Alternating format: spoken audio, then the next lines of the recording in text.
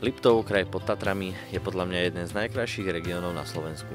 Tu žijem, poznám to tu, tu pracujem. Volám sa Marian Hlavna a som realitný maklér.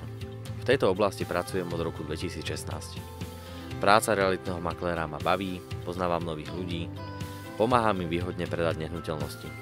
To je moja práca a som v nej dobrý. Pri svojej práci používam znalosti trhu, moderné technológie a skúsenosti z mnohých oborov.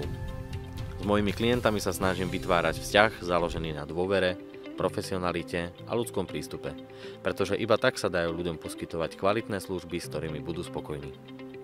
Nepracujem podľa žiadnej šablóny, všetko prispôsobujem klientom na mieru.